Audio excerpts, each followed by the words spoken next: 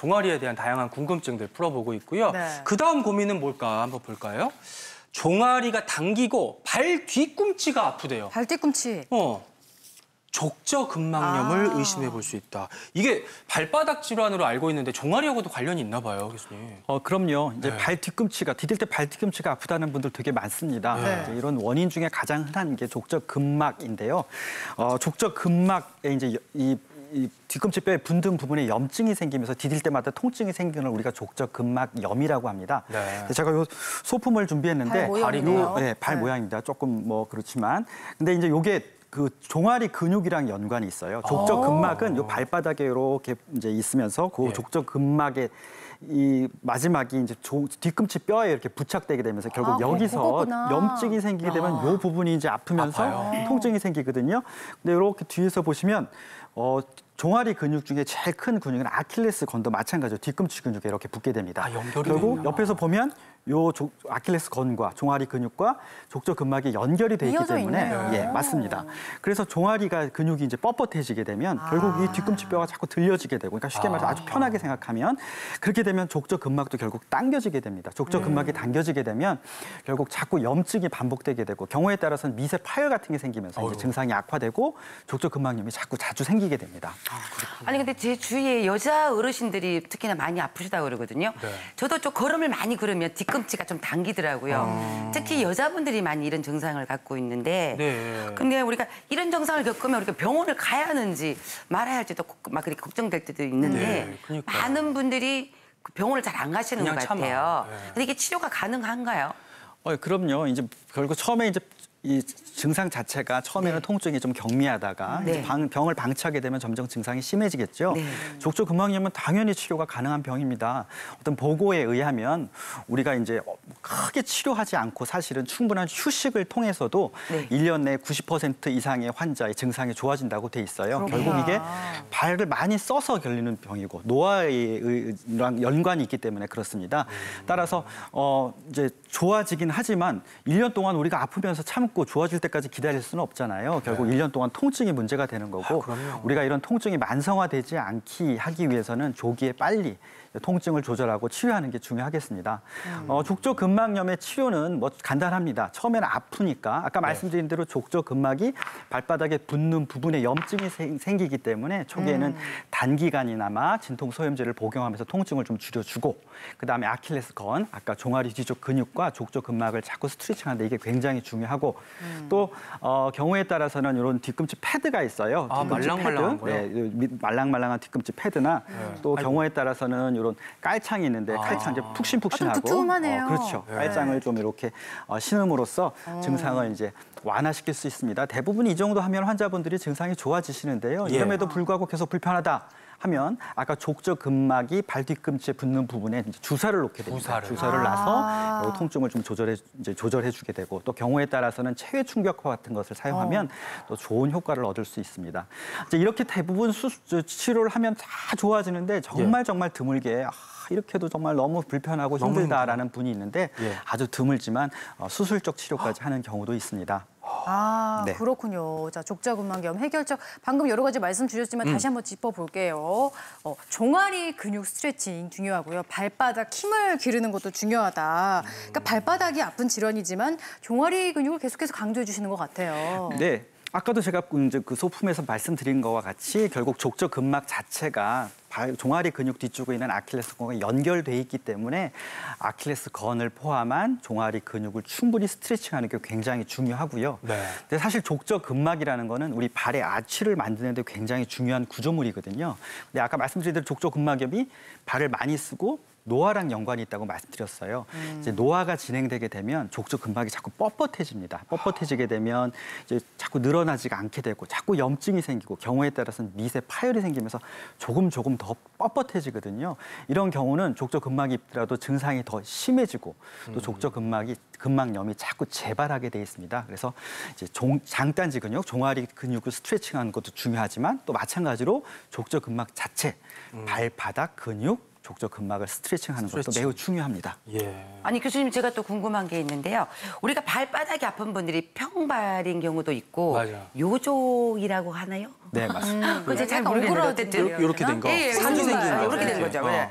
그발 그러니까, 그러니까 발바닥 산이 어. 높은 경우 말하잖아요. 그러니까. 이런 경우도 있는데 이런 분들은 발 아치를 좀 더 평범하게 정상적으로 하는 게 좋은 건가요?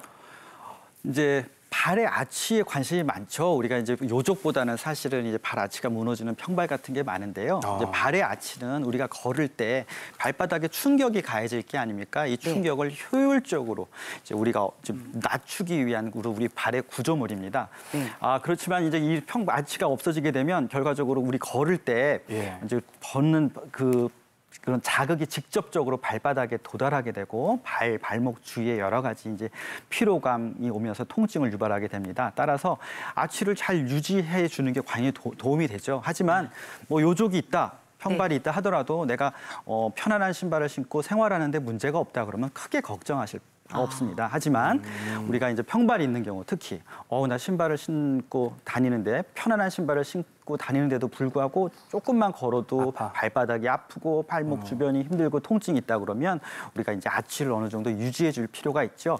아치를 유지하는 방법 중에 제일 간단한 거는 아까 제가 보여드린 요 깔창이 제일 간단합니다. 요 깔창 안쪽에 이렇게 아치를 만들어 놔서 아, 도톰하게. 어, 도톰하게 아치가 있죠. 예. 그래서 아치가 없는 분들도 이런 깔창을 신발 밑에다 깔고 신게 되면 아치가 유지되기 때문에 어느 정도 발바닥의 통증이라든지 발과 발목 주변의 피로감을 많이 없앨 수 있습니다. 하지만 이제 이런 평발의 경우 이런 깔창을 사용하면 대부분 증상이 좋아지지만 네. 또 경우에 따라서는 아주 심한 평발의 같은 경우는 증상이 좋아지지 않는 경우도 있거든요. 이런 경우는 어째 어쩔 수 없이 수술을 통해서 아치를 만들어주는 뭐 수술까지 하기도 합니다.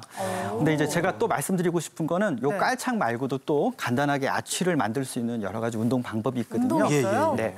어, 어, 슬라이드에서 아마 나올지 모르겠지만 아치를 만들기 위해서 굉장히 중요한 근육이 요 발 안쪽에 여기 발 안쪽입니다. 뼈라서 잘 보이시면 안쪽에 후경골건이라는 아 주 중요한 힘줄이 있습니다. 지금 저희가 여기? 보이는 것 같이. 예.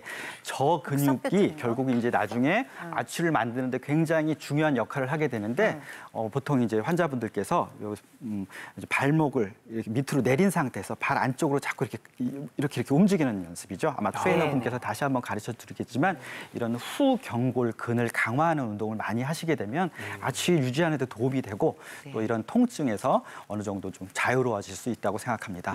그렇군요.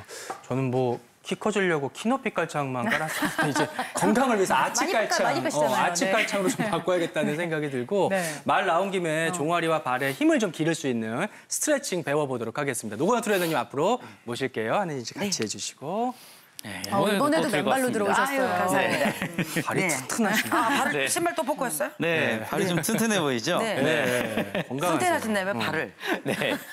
자, 자. 일단은 발바닥이 네. 어, 운동을 하기 전에 발바닥이 좀 아프고 네. 뭐 뻐근하다라고 네. 하면 근육 운동의 효과도 그만큼 떨어집니다. 그래요? 그런데 이제 발바닥을 막 이제 직접 네. 이 손으로 하기는 좀 힘들죠. 네. 그래서 체중을 이렇게 실어서 할 수 있는 방법인데요. 여기다가 네, 얹을까요? 지금 아령으로 네. 또는 이제 그냥 뭐 이렇게 긴 우산, 봉 가지고 좀 네. 이용을 해도 됩니다. 음, 네. 세 가지 부위를 할 텐데요. 네. 이맨 위에 보면 이 뼈가 있죠. 요거요? 네네. 네. 이 뼈 바로 아래부터 시작을 할 겁니다. 아래부터. 네, 거기에 대고 그다음에 눌러요, 뒤꿈치를 뒤꿈치를 붙이셔야 돼요. 아, 붙여야 돼요? 그렇죠. 그 다음에 살짝 체중을 가볍게 이동하세요. 무릎을 살짝만 구부리고. 어, 근데 그렇죠. 발 시원하겠다. 아파요. 근데 너무 아플 정도까지는 가지 마세요. 살살 해도 되죠? 네, 살살. 살살. 네, 네. 바로 표정이 밝아지십니다. 살살. 네. 네. 가볍게, 네. 가볍게 가볍게. 움직여 주세요. 그 다음에는 이번엔 중앙에. 중앙에. 네. 그렇죠. 조금만 더 앞으로 더 가서 앞으로요? 중앙에 대고 네. 뒤꿈치를 붙이셔야 돼요. 항상 네, 그래야지 붙여- 넘어지지 않습니다. 이 상태에서 똑같이 발을 앞으로? 꽉 눌러주세요. 힘을 조금씩 셋, 주면서. 그렇죠? 네. 꽉 하나, 둘, 눌러주시고. 셋. 자 이번엔 뒤꿈치 바로 앞에. 네. 아까 이제 어, 서두에 선생님께서 말씀하셨듯이 뒤꿈치 바로 앞에서 염증이 많이 발생이 된다고 했죠. 아, 네. 저도 거기가 제일 아파요. 그렇죠. 그쪽에도 가볍게만 눌러주세요. 가볍게. 가볍게 든다. 네. 상당히 가볍게만. 아픈데요. 그렇죠. 가볍게만 눌러주세요. 네. 많이 뭉쳐 있나 봐. 네. 자, 이번에는 네. 실적으로 운동을 한번 해볼 건데요. 밴드를 좀 이용할 겁니다. 어, 네. 탄성이 있는 밴드. 네. 대부분이 뭐 네. 아까 말씀하셨던 요적도 있지만 네. 이렇게 평발, 이렇게. 평발. 맞아, 아치가 많이 발목이, 무너져. 네, 무너지는 경우가 있습니다. 체중을 어. 실었을 때. 맞아, 네. 맞아. 네, 이런 경우를 좀 대비를 해서 이렇게 발가락 사이에 이렇게 밴드를 이렇게 딱 끼우고요. 아, 네. 펴서 해야 돼요? 네, 네. 끼면 안 돼요? 네, 아 펴도 괜찮아요. 그리고 이렇게 끼, 끼면 안 돼요? 네, 껴도 네, 괜찮습니다. 네. 자, 이 상태에서 옆으로 이렇게 당길 거예요. 이쪽으로요? 네, 옆으로. 네, 네. 아, 반대쪽이에요. 무릎 이- 아, 바깥쪽. 반대쪽으로. 그렇죠. 아, 무릎 아, 바깥쪽. 이쪽으로.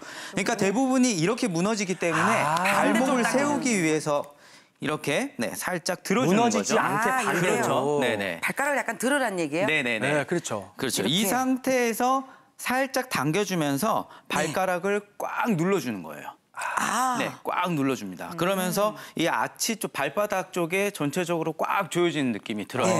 네. 지금 발가락이 빨개졌어요. 네, 그렇죠.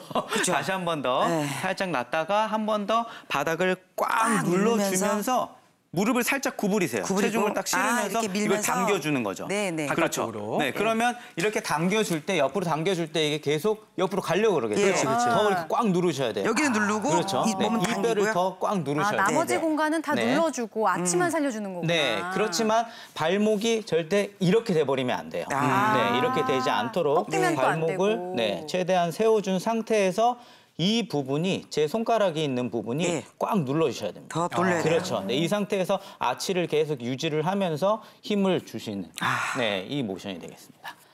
네. 어, 근데 이게 엄청 때 힘들어요. 발가락을 다 일일이 다 사용해야 되는 그렇죠. 거죠. 네. 뜨거나 그러면 안 되는 건가요? 네, 맞아요. 뜨면 안 됩니다. 발바닥을 네. 그리고 전체적으로 지금 어. 이렇게 개구리 발가락처럼 돼야 되는데 이렇게 구부려줘도 안 돼요. 아, 아, 그러면 이제 되는데. 밴드 좀 넓게 펼치는 게 상태에서. 좋겠어요. 네, 네. 네, 어. 맞습니다. 네. 그러니까 여기까지. 밴드가 네. 지금 네. 굉장히 좁은 범위에 지금 발가락 걸쳐 있는데 네. 발가락을 싹 감싸주는 게 좋겠죠. 그렇죠. 넓게 원래는. 감싸 지금 이해를 돕기 위해서. 조금 더 좁긴 어. 했지만 이렇게 이렇게 거죠? 감싸주면 더 어. 힘을 주기가 편해요. 안정감이 있어 보여. 그렇게 그렇죠. 해야지. 맞아요. 예. 이렇게 하면 아. 네, 더 힘을 주기가 편한 상태가 어, 되겠습니다. 피도 잘 통할 것 같고. 네. 여기까지 가겠습니다. 아이고. 아유, 감사합니다. 이게 쉽지가 않네. 오, 잘해야겠어요. 예. 쉽네, 쉽지 신발 잘 않네요. 신으시고.